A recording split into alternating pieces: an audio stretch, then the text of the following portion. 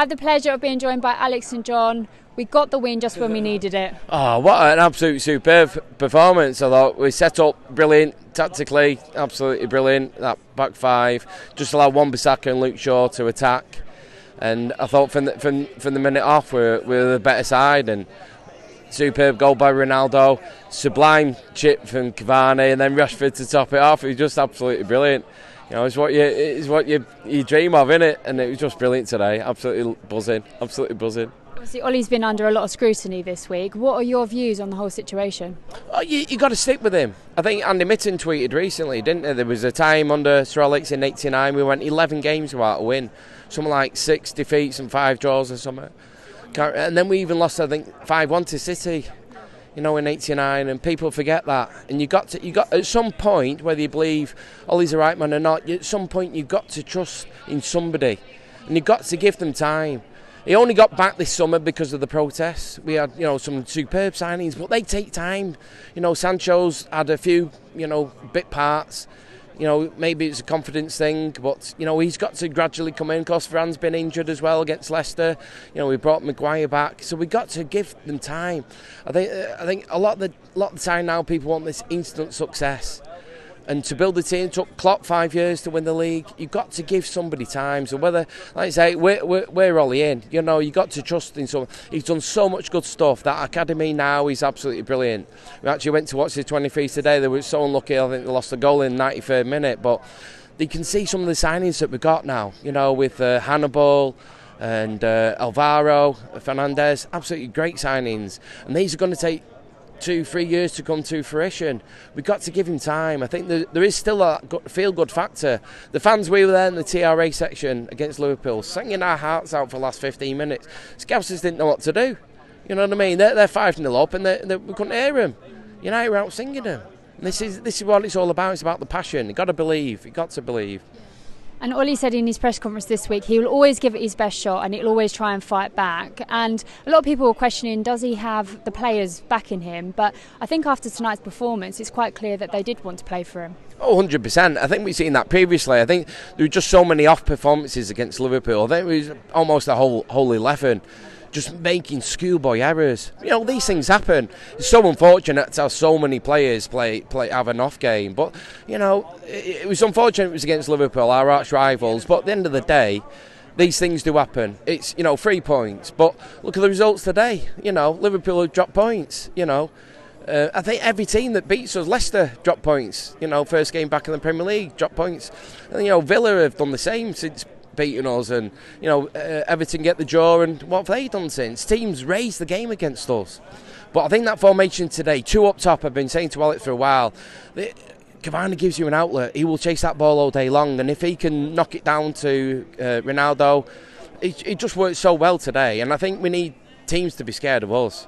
I think that's we need to get to in that mindset. I think if we go two up top for the rest of the season, all being well if they fit, and we can rotate and bring uh, you know Greenwood in and what have you, and Rashford, it's exciting. It could be.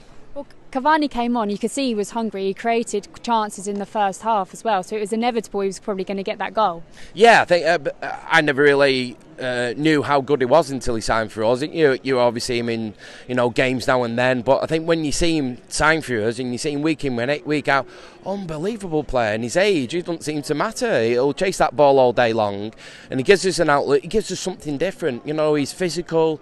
He's got height. He's just oh, I think it's great, and I think the whole team now will be buzzing after today. And I think there is a togetherness. They're all down after Liverpool, like the fans were. But there's no need to panic. There's no need to reboot and undo everything. Just give it time, please. You know, don't don't panic. Don't press the panic button after one. I know we've had a bad run of games, but that one defeat against Liverpool, everyone was just like, "Oh, that's it, Ollie out." We've got to put some ownership on the players as well. And they, and they, they turned up today, and they played absolutely brilliant. It was fantastic, and the the crowd today getting behind them. It's what what you support United for, isn't it? yeah. What was it like in there with the fans? Oh man, I, was surprised I can still still talk. It was absolutely buzzing. It was absolutely brilliant, and they sang non-stop. You know, and we'll support the boys no matter what. You know, if, if we had lost today, we'll still be there against City. You know what I mean? That's how it works. It doesn't matter win, lose or draw. We obviously prefer to win, but you know you can't always ask for that that. Well, I think it was brilliant today. Absolutely brilliant. Fans and everything. And I think in pre- previous games, Harry Maguire is, you know, everyone's been doubting should he be in the starting lineup. Uh, Luke Shaw as well. Some people were saying should he be rested. What's what's your opinion on that? Yeah, you know, obviously they played played in the Euros as well, haven't they? You know, and uh, fantastic games as well. Exactly, you know, but the players are desperate to play, so it's very hard to keep people out if they're telling you fit and the coaches say, saying they're fit, and players want to play. It's very hard to keep them out. You know, hindsight's a great thing, isn't it? We can all say after the event that we should have done this, should have done that. At the end of the day, you, you've got to trust the managers. We don't know what goes on in training. We don't know, you know, if players are turning up on time and how hard they're working. You know, we've got to trust the managers to do that. But uh, again, you know, there's other people involved in this. I think uh, I watched a lot of Howson and stuff, and he's saying, you know, there's the analysis and stuff, and you know, there's a break in it somewhere. You know, it doesn't always fall at the manager, but we've got to give things time. You know, we've brought in a lot of new people doing a lot of, you know, brought this like set piece coach you can't just come in and, and, and make a change it overnight. You know, they do take time. And look, today, I thought that formation today was great. I know we keep with something like that. You know, the two holding midfielders, not everyone likes, but I think that they sat in that in front of the back three, allow Shaun Wan-Bissaka to push forward, give them the freedom to go for it.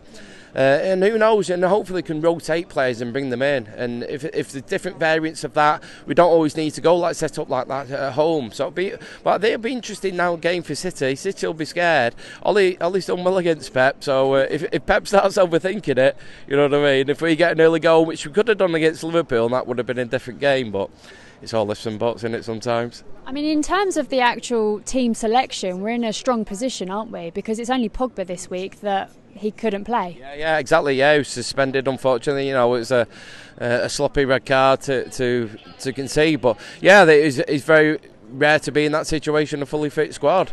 But if we can keep that, and, and you know, who knows, it could go, easily go on a run quite easily. I think the results today just shows you anything can happen, and all we got to do is be there to pick up the pieces and, uh, capitalise when other teams uh, drop points. But uh, you got to believe, hundred percent. And as you say, we move up to fifth now. Um, it's still early on in the season, and I'm pretty sure we can get silverware. You never know, dear. You, like I say, you've got to believe, and what a difference a week makes. You know what I mean? I think there'll still be people all out. That's fair enough. You're entitled to your opinion, but like I kept saying before, you at some point you have to believe, uh, and you can't keep resetting after you know three years. You've got to give somebody time. You could argue that Ollie's not got the CDM he wanted. You know what I mean? He Hasn't really been backed in previous transfer windows. It's only this this season that we, we we've got three or four major signings. But you know we should have had Sancho previously. You know what I mean? Who knows what would have happened? But you got you've got to trust the process and you've got to give it time. And you know if if you can't support United, then go and support somebody else in it. well, enjoy the win tonight. Thanks, guys.